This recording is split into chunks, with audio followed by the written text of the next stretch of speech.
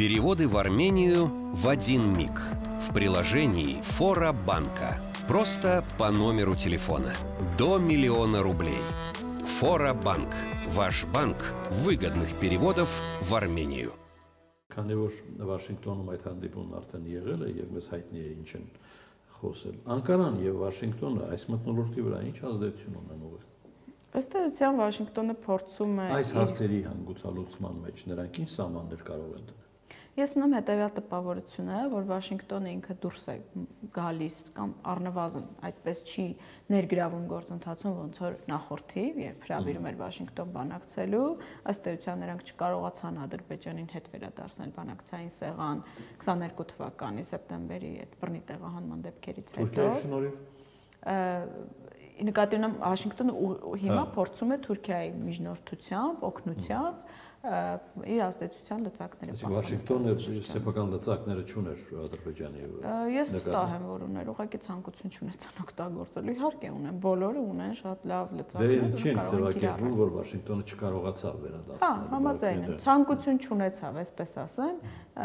նույնիսկ որոշ պաշտոնյաներ այդպես բառացիել ասում են, որ չեն հետամուտ լինելու, որ Ադրբեջանին համոզեն կգա, կգա, չի գա իր գործն է հաստատեցի մենք այդ այդ իրավիճակի հետ գործունենք։ Ղազախստանի նախագահ Ադրբեջանում է։ Հետևել եք տեղեկատվությանը։ Այո, հետևել եմ Ամուլի Ասուլեսին։ Ինչ ողջորությամբ են ադրբեջանական լրատվամիջոցները հաղորդում այդ մասին։ Ինձ հետաքրքրեց Շուշի այցը, որ Տոկայը Շուշի է գնացել եւ այն հայտարարությունը հայտարարությունը թե ինքը շատ ուրախ է, որ Ադրբեջանը այս պատերազմում հաղթանակ է տարել։ Ես սա ինչու եմ ասում, դե Ղազախստանը, Ադրբեջանը ունեն իրենց այդպիսի վարկագիծ ունենալու հիմնավորումներ, բայց մենք գործ ունենք հապկա անդամ երկրի հետ, չէ՞ ի վերջո։ Իրավացեք, իհարկե, այսինքն ակնհայտորեն հապկա անդամ բազմաթիվ երկրներ բավականին սերտ Ես ինչու եմ դա ասում, որովհետև արդեն հենց այդ հանգամանքն է հուշում, որ մենք հապկի խորտ զավակել չենք, էլի այս բանը։ Դուք իրավացի եք, բայց մի կողմից էլ պետք է ռիսկերը հաշվարկել, հասկանալ, ի վերջո այդ հապկն ամբողջությամբ հայ-ռուսական հարաբերությունների վրա է կառուցված եղել։ Այսինքն այնպես չի, որ Հայաստանը մեծ հույսեր է կապել հապկա անդամալի երկրների հետ։ Դե այդ ջրբաժանը պետք է Ռուսաստանը ցույց տա, որը ցույց չի տալիս։ Միանշանակ, որովհետև այսօր Ռուսաստանը շատ խորը հետաքրքրություններ եւ շահեր ունի Ադրբեջանի եւ Թուրքիայի հետ։ Նույն Տոկաևի այցից առաջ Միշուստիններ Բաքվում բավականին ջերմ ընդունելության արժանացավ, հայտարարություններ հնչեցին, փոխադարձ կապերի խորացման, ցանկության եւ այլնի մասին։ Ուզում եմ ասել, իհարկե յուրաքանչյուր պետություն ըստ իր տվյալ իրավիճակում շահերի գնում է առաջ։ Այստեղ խնդիրը մեկ այլ է, խնդիրը այն է, թե ինչ շահի է հետամուտ Հայաստանի Հանրապետությունը, որն է Հայաստանի Հանրապետության ներկայացրած օրակարգը, կլինի դա երկկողմ կամ բազմակողմ ձևաչափերով, որ այդ օրակարգի շուրջ էլ որոշեն կա շահերի համընկնում, թե չկա շահերի համընկնում։ Թաթևիկ մարտի 19-ին հայ ռազմագերիներն Ադրբեջանում խորագրով համաժողով եվրոպական խորհրդարանում տպավորություն կա, որ այս արևմտյան թևում շատ բաներ չեն մոռանում եւ ուզում են տակ պահել։ Այո, այսպես ասած թղթապանակը ուզում են տակ պահել, երբ որ անհրաժեշտության դեպքում կարողանան օգտագործել։ Դա կարևոր է, բայց դա կարևոր է այնքանով, որքանով հայկական կողմն է պատրաստ օգտագործել դա, որովհետև որևէ մեկ այնտեղ ինքնուրույն քայլեր չի ձեռնարկելու։ Կարևոր է օրինակ տեսեք, այսօր Նիկոլ Փաշինյանը խոսեց հավանականության մասին, որ եթե պայմանագիր ստորագրվի միջազգային ատյաններից քրեական այդ դատավարական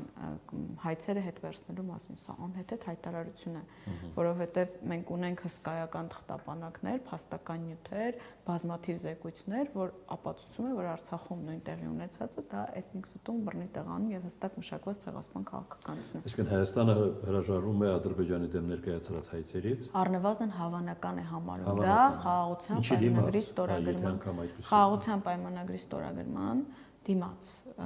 ու ասում են որ եթե այն դեպքում եթե Ադրբեջանն էլ հրաժարվի, բայց ծանոթ լինելով քաղաքականությանը, ինձ համար դա կրկին անհետեցություն է։ Ինչու ես մի թեզ նետում շրջանառության մեջ, որը այս պահի դրությամբ բացարձակ ակտուալ չէ, այսինքն ոչ պայմանագրի թուղթ կա, որ պետքա այսօր կամ վաղը ստորագրվի, ոչ էլ Ադրբեջանը երբևիցե ասել է, որ որևէ հայց հետ կտա, ընդհակառակը Ադրբեջանը այդ հայցերը շարունակում է եւ այս COP 29-ն էլ օգտագործելու է, որպեսզի Հայաստանը ներկայացնի որպես էկոլոգիական խնդիր տարածաշրջանի համար։ Այդ քարոշչությունը արդեն սկսել է։ Հիշեցնեմ նաեւ, որ դա հայկական կողմը իջեց Ադրբեջանին, որ այդ մեծ միջոցառումը Ադրբեջանի հյուրընկալի։ Ադրբեջանական լրատվամիջոցը կամ լրատվամիջոցները հանդիպել են Արցախի նախկին ղեկավարներին, գիտեք, եւ անգամ հայտնում են, որ տեղի ունեցել այդ բան կոնտակտը լրագրողների հետ չգիտեմ ինչու են համաձայնել խոսել Արցախի նախկին ղեկավարները, բայց փորձենք հասկանալ ինչ են իրականացնում դրանով ադրբեջանցիները, ինչ են ուզում անել։ Ի վերջո էլի մարդու իրավունքի խախտման կոպիտ դեպքի հետ գործ ունենք։ Այո, եւ սա առաջին դեպքը չէ, տվյալ դեպքում աղմուկը մեծ է, քանի որ խոսքը ռազմաքաղաքական ղեկավարության մասն է Արցախի, բայց այն ժամանակ, երբ ռազմագերիներն ռազմագերիներ էին պահվում Բաքվում, նրանց հետ էլ իրենք հարցազրույցներ էին անում, փորձում էին հրապարակել, դա ուժեղ հոգեբանական ազդեցության ձև է։ Տվյալ դեպքում հիմա սա շատ ավելի ուժեղ ազդեցություն կարող է ունենալ, որովհետև այդ մարդկանց բացի իրենց ընտանիքներից նաև ճանաչում է ամբողջ հայ ժողովուրդը։ Եվ այդ մարդկանց տեսնել բարդ իրավիճակում, այլ տերմիններ չօգտագործեմ, այսպես ասեմ, բարդ իրավիճակում հոգեբանական ոչ միայն, բայց նաև, այսինքն նպատակը հստակ քարոշչական այդ հիբրիդային պատերազմի շարունակականությունն է, որպեսզի ցույց տրվի, թե ինչ իրավիճակում կարող են հայտնվել հայերը, որոնք օրինակ չեն ենթարկվել Ադրբեջանի հրահանգներին, պայմաններին եւ այլն։ Դա նպատակներից մեկն է։ Մյուս մյուս խնդիրը իրենց գերազանցությունը ցույց տալը։ Առհասարակ ադրբեջանական պետական քաղաքականության մեջ մի գիծ կա, որով նրանք փորձում են մշտապես ցույց տալ ադրբեջանցիների առավելությունը հայերի հանդեպ պետական քաղաքականության, ես չեմ ասում հանրային տրամադրությունների, ու Ալիևը շարունակ իր ելույթում օրինակ ասում է, չգիտեմ, մեր ժողովուրդը այսպեսին է, իրանցին է, իրանց ժողովուրդը այսպեսին է։ Այդ քաղաքականություն նվաստացնելու էթնիկ խմբին թիրախավորելու Ալիևի կարևոր գործիքակազմերից մեկն է։ Եվ այս մարտիկ այդ առումով դարձել են նրա ձեռքին գործիք։ Ուղղակի կարծում եմ, որ պետք է դրան անդրադառնալի շատ զգուշավոր լինել, հասկանալ, որ գործ ունեն քարոշչական հստակ նյութի հետ։ Դա կարող է նույնիսկ հնարավոր էսկալացիոն զարգացումներից առաջ օգտագործվի, որովհետև եթե չեմ սխալվում, ըստ անոնսի պետք է մարտի 28-ին հրապարակեն։ Ընդ որում հետաքրքրական էր նրանք Կիրակի օրը մարտի 10-ին, կարծես թե մարտի 10-ին դրեցին անոնս, ասացին, որ շուտով կդնեն տեսանյութը, բայց այդպես էլ այդ տեսանյութը չհայտնվեց իրենց հանրային հեռուստաընկերության եթերում, հետո խոստացան, որ դա կլինի մարտի 28-ին։ Ուզում ասեմ, պետք է շատ զգուշավոր լինել եւ շատ ման օգտագործել էլ այդ նյութերը կամ առհասարակ չօգտագործել։ Մի բան էլ եղավ, որ վրիպեց աչքից կամ քիչ ուշադրություն դարձրեցին Անտալիայում Թուրք Պաշտոնյան բանակցողը Հայաստանի հետ ասեց մեկ շաբաթից Երևանում հանդիպենք, Երևանը դեռ չի արձագանքել կամ ես չեմ լսել, եթե կա այսպես։ Ես չեմ լսել արձագանքի մասին, եթե չեմ սխալվում, հայկական կողմից Ռուբեն Ռուբինյանը ասաց, որ կխոսեն, կքննարկեն դա։ Շատ շատ հոյակապ